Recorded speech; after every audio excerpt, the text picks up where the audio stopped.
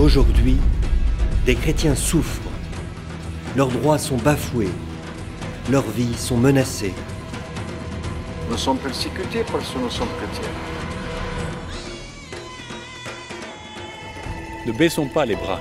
Il y a urgence. Pour plus de liberté religieuse dans le monde. Pendant une soirée, évoquons la mémoire. Et prions pour ces hommes et ces femmes tués récemment au Nigeria, au Pakistan, en Chine, en Irak, au Vietnam, en Amérique du Sud et ailleurs. Simplement parce qu'ils étaient chrétiens. Simplement parce qu'ils étaient chrétiens. Simplement parce qu'ils étaient chrétiens. Tous à la nuit des témoins.